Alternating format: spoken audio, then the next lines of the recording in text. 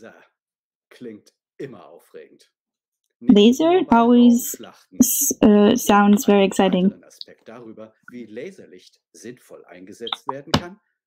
How are you going to apply it? Ready, we're going to learn in this talk now. Dr. Matthias Koch is a, a biological physicist. And uh, on the side, he also was uh, interested in uh, building gardens. For his PhD, he was applying lots of different technologies for laser spectroscopy.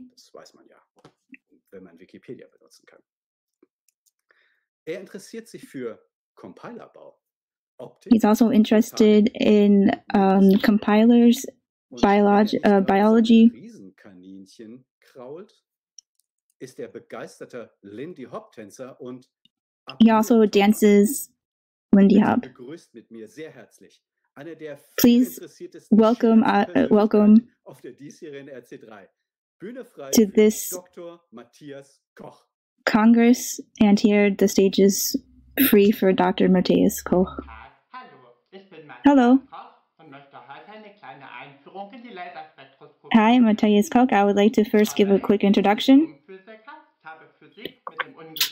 I have a PhD in biophysics.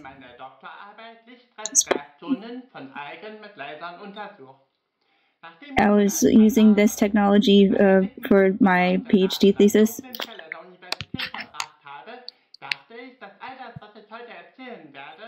While I was studying, I was thinking, what is happening today? And I was thinking, Mhm. and it would be better if I investigated this myself, and here I am with this topic. What happens when we're shining this in? We have a lamp here.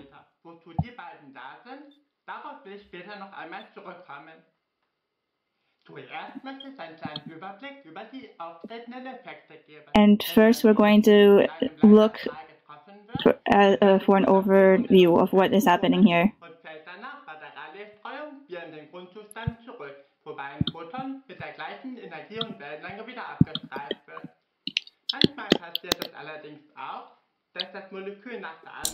Sometimes it happens that the molecule, after the excitation, um, drops back to another band.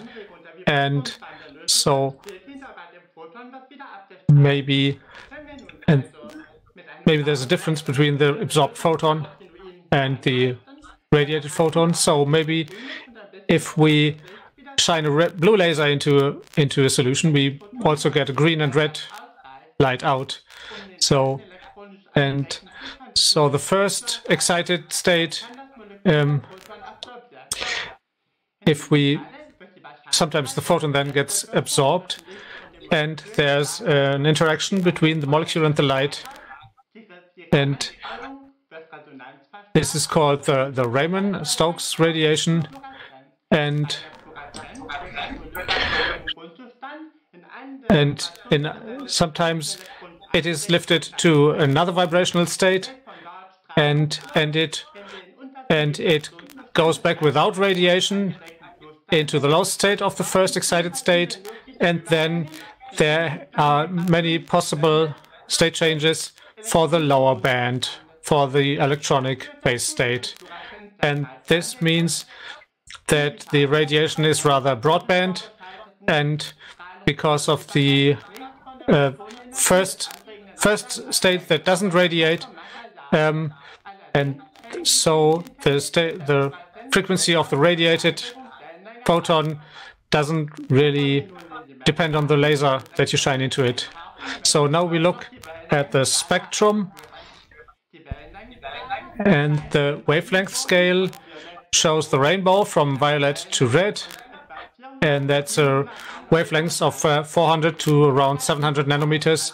And the um, sensitivity of our eyes at the edges is relatively low and the photon energy is between 1.8 electron volts to 3 electron volts at the violet end.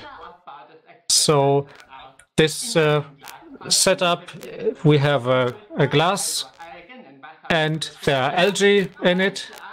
And so it's a liquid in the liquid and it's a special algae and and it can be used for creating dyes. And in this glass there's a, a plexi on a, on a perspex plate and there are lamps in it that are used for calibrating the spectrometer. And below the perspex plate is a, a mixer and the culture to, to mix it um, so that each individual molecule will only come into contact with the laser very briefly, so doesn't isn't changed by that. And there's also a fiber bundle and to shine the laser into into the uh, solution.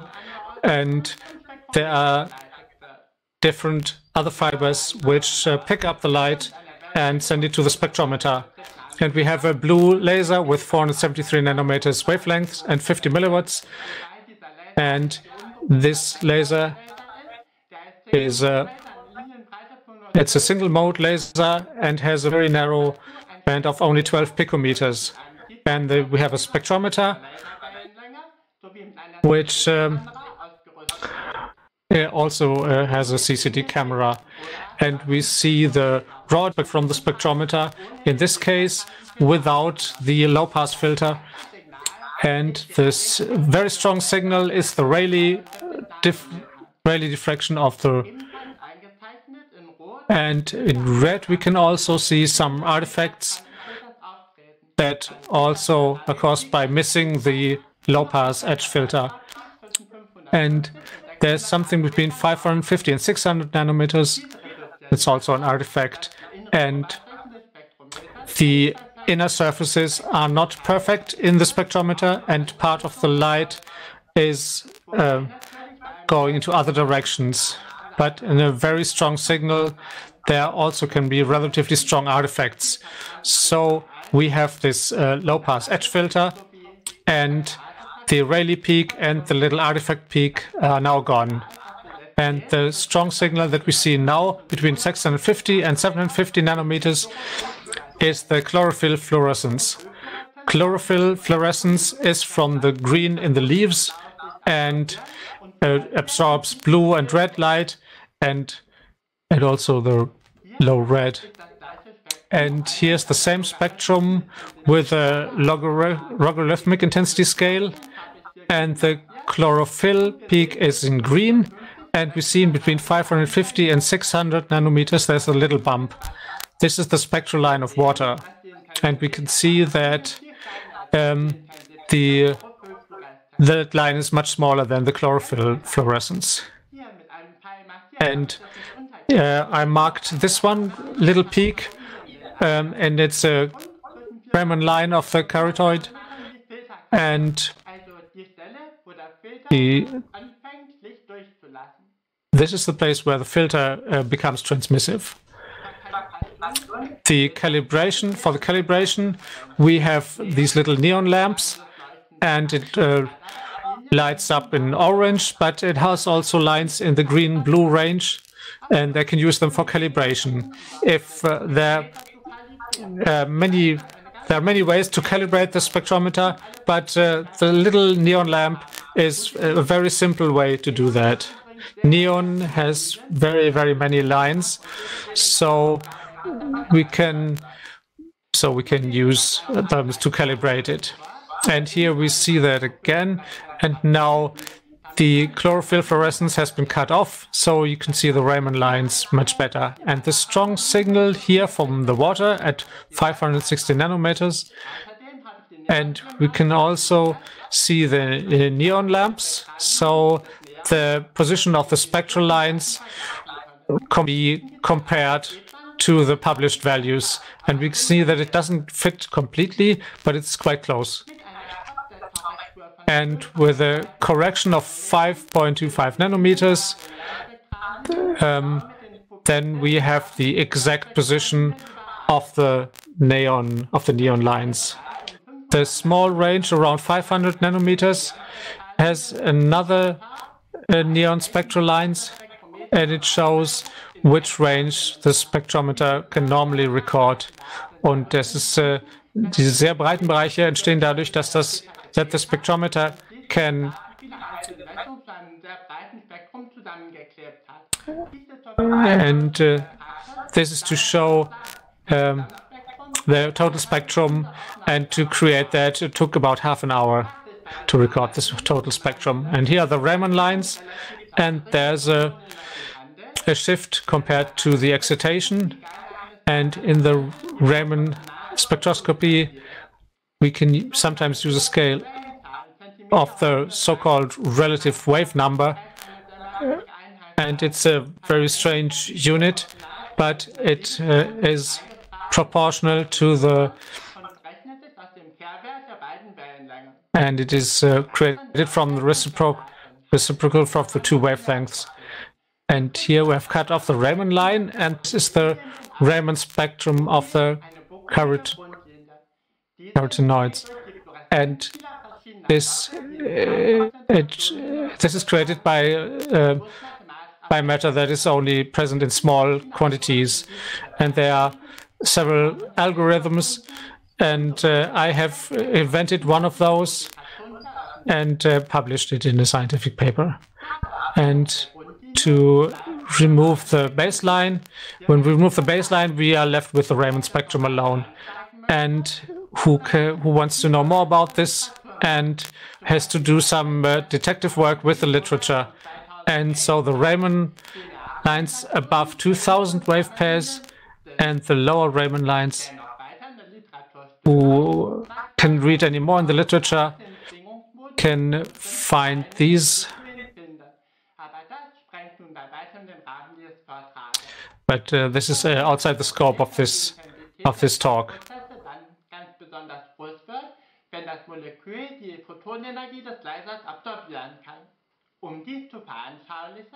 To show this, I have shown the pure beta carotene, so only carrots, and excited it with two different wavelengths. In the blue line, we have 500 nanometers, and then we have the green line to compare this with the, the spectrum line. We see that it's a little bit steeper, it's a little bit higher. So you see that it's a little bit stronger, this line. The frequency is dependent so that uh, as it's growing stronger, you see the blue line?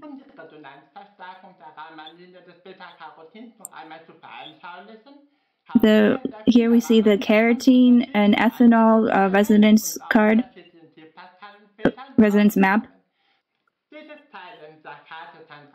This part of the spectrum it shows as it goes up that the frequency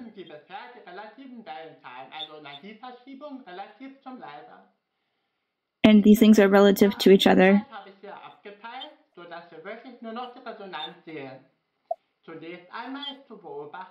There's something to watch here. We have to count relative waves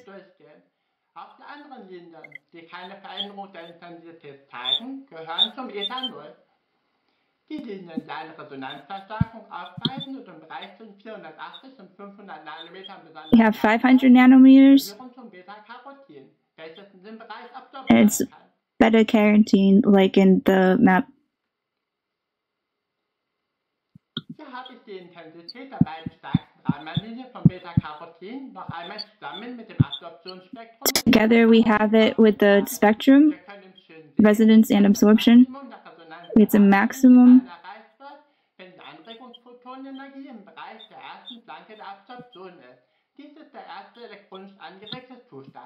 It's the first response uh, and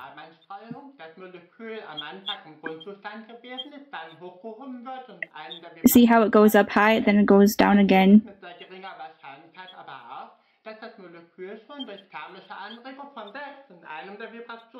So there's a response from the chemicals. The, the status goes high and then back. The proton is responding to the more energy.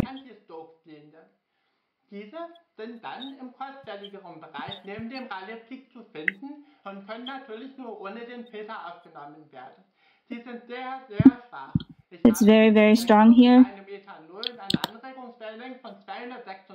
So this is an excitation wavelengths uh, at different and through the logarithmic sca scale we can also separate the anti-Stokes lines.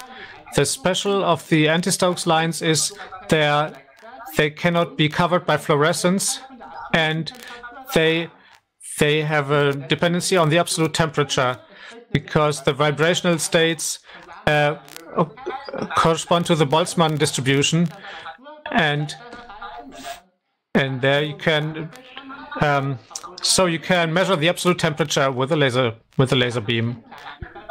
For after this uh, small overview um, of the effects, it's now we are talking about how we can use that. At first, the selection of the laser. We usually have to use a blue or violet laser. That's a very simple reason for that. You, you know where it is, even if you use the laser laser protection goggles. Um, other lasers may be much more extensive, more expensive, but um, with a red laser you might uh, be tempted to remove your goggles, but you should never do that so you can see the light. So a blue laser is good. So you can use a piece of paper with a with a sharpie and then you can uh, hold it into the beam and see where it is. And the skin will also fluoresce a little in yellow, and so you can see with your finger where the laser beam is. Uh, for the, here's a small do-it-yourself for a spectrometer, and um, I the spectral range is important, and you if you have the whole visible range, that's good. But uh, if you want to do the Raman spectroscopy, you need a very high resolution, and you need to be able to filter parts of the spectrum. And uh, the sensitivity is a bit like the aperture in photography, and so you have a grid and the camera, and if the slit is very low, then there's only very little light, and there's only very little light on the camera, but so good resolution. And so it depends on how the optics are built. If maybe there are other apertures or small, small parts, and you have to um, look what is better, better here. So for Raman spectroscopy, it's very important to be very precise there, and you have to experiment a bit. Another important part is the dynamic range. A normal camera has maybe 10 to 12 bits dynamic range, whereas the camera which I used to record it um, has 16 bits of dynamic range. And you have to experiment a bit with that as well. And But with a webcam which has only 8 bits uh, per channel isn't very helpful if you uh, don't want to look at the fluorescence, but also some uh, some other more interesting things. And another part is that um, if you uh, exceed the maximum contrast um, from from from the camera of the camera, then you are looking only at. Uh, so if you have a very strong a very strong beam, then it may be diffracted inside the camera, and then you, if you have optical low-pass filters, they are very expensive. But the spectrometer, if you build it yourself, you can disassemble it and and put a little uh, um, a little blind there, and uh, so you can easily find that and block it out if there's uh, and um, Maybe you already have something like that in your do-it-yourself box. Um, and LEDs can, can be used as sensors, for example, and I have measured a few LEDs and what their receptive spectrum is, and I have published it. Uh, the most easily accessible range is uh, is uh, dependent on the material of the sensor. For example, silicon can use 1,100 to 1,000, and and you have to improvise maybe if you need another range other semiconductor materials have other ranges. Um, silicon carbide goes of 200 to 400, indium gallium arsenide goes from 800 to 1700, and germanium is from 800 to 1800 nanometers. And and some uh, some tubes also um, create ultraviolet light and you have just have to experiment a bit. Maybe it's also possible to you open up a germanium powered transistor and use that as a sensor, but the sensitivity will probably be very low. And for measuring Raman lines, that's a really technical challenge. And the uh, absorption can be measured relatively easy. So I want to show you some examples how such measures can be broken down, such measurements. The classical measurements uh, where you use a lamp and a monochromator and then you have uh, use a photodiode as a sensor and then it goes through a beam splitter and through a photodiode and then through the through the liquid that you want to measure into a photodiode. And then you can find out the specific wavelength. And the absorption um, is dependent on the thickness of the material and and an absorption coefficient that is also dependent on several parameters. Besides the lamp and the monochromator, um, and uh, there may be variations in the intensity of the lamp. And to compensate for that, um, we can have something where the very LEDs have a very, very stable intensity. And so the intensity can be measured with a photodiode. And the intensi intensity of the LED itself can be measured that way. For example, there's a and uh, probe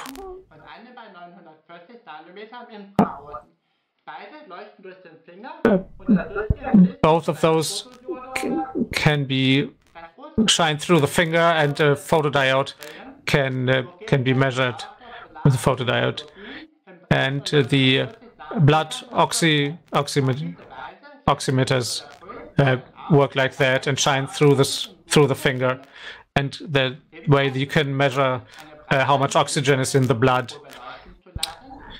And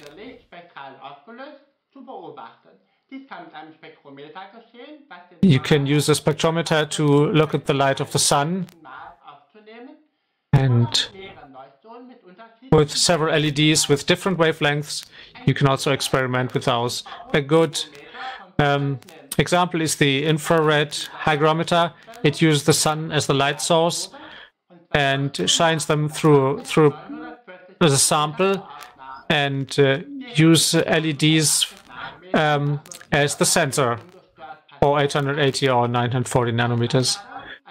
And uh, water vapor has an absorption line near 900 nanometers, so you can figure out the uh, water vapor concentration in the air and can build a hygrometer that way. And here's another example if you want to examine chlorophyll fluorescence. If you look at the leaf with a shine on it with a blue or green lamp and with a blue uh, LED, you can shine at, at the plant and use a dark red filter. But it's not easy to record that on video but um, you'll see, you can still see it in this photo. And you have perhaps seen the spectacular infrared photography photos and you can use a dark red filter for that. And you can see that the sky becomes blue because the blue is absorbed by the filter and the leaves become very bright. And on this photo, uh, you can see on the right it is very bright. And the tree on the left side is uh, much less bright. And that is um, because the chlorophyll fluorescence um, is a reaction to get rid of uh, superfluous additional light. And so that the leaves don't get um, overloaded with light. Um, you can also take photos like this from satellites or airplanes and can figure out where it is dry or if there's a danger of a forest fire. Um, if you measure the chlorophyll fluorescence, you need uh, three LEDs, a blue one for uh, excite the fluorescence and uh, two, two red ones for uh, detecting the fluorescence. And the emission spectrum of this LED is at 700 nanometers. And you can see that they overlap. And the reason is that we have uh, a semiconductor with a band gap between and so red and yellow LEDs have a similar band gaps. And so they can see their own light. And the green blue or ultraviolet LEDs uh, have an indirect band gap semiconductors and emission and sensitivity are separate so they cannot see their own light but only uh, different uh, bandwidths. And the sensitivity is either it starts at the emission spectrum or is and, and here is a bright red, light red LED. And you, if you look at the sensitivity of the two LEDs together with the chlorophyll fluorescence, you can see that the light red LED cannot see the chlorophyll fluorescence, whereas the dark red LED um, can see the chlorophyll fluorescence. And so we have everything that we need. And we can uh, excite it with a blue LED, use the light red LED as a reference, and use the dark red LED uh, for measuring the data. And you can see uh, the result of the uh, chlorophyll fluorescence uh, from a leaf, which I have created with these three LEDs. And for the blue, for this measurement, the blue LED will flash, and then uh, I use the two red LEDs with an uh, operational amplifier and you can see the red curve is the uh, measurement and the blue curve is the reference. And you flash the, the blue light into the leaf and sometimes the LED will light between the measurements and and they fluoresce uh, very strongly for a short period of time and so continue time lighting. So this curve is known as the Kautsky effect. At the end, um, I give you some literature tips for people who are still curious and uh, some areas that can be very interesting. For example, uh, lighting the light uh, emission of the sea. And you can uh, use uh, microscopy, for example, and uh, so and the main component analysis can be done and maybe you can use hyperspectral cameras which can record a very large spectrum and they use a dye and uh, two uh, very shortly um, very short excitations so, and uh, see you again in the Q&A. Wow, was für eine komplexe Materie. So what a complex matter. My head is really rotating. I learned a lot. Thank you very, very much for this huge impact. Um, uh, I feel like I'm fried by a laser and and saturated with information. Thanks, thanks a lot. Einer der ersten Fragen war natürlich, ob das Laserlicht, mit dem du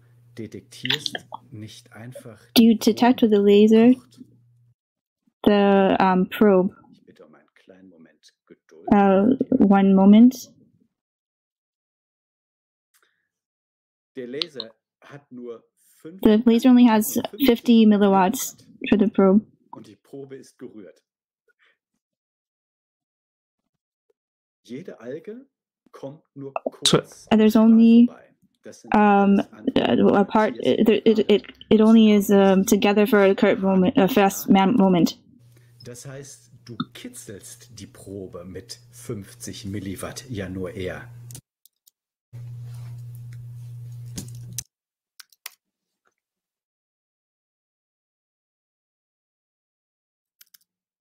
Klare Antwort, ja. That's a clear answer, yes. Du hast es ja nicht nur mit leb leblosen Proben zu tun, sondern mit lebendigen Organismen. Setzt du diese Proben nicht unter Stress? Uh, is there not stress for the measurement? Die Messung um, does it influence it? Matthias has replied that, yeah, there may be surprises. Uh, for example, there may be foaming or boiling over.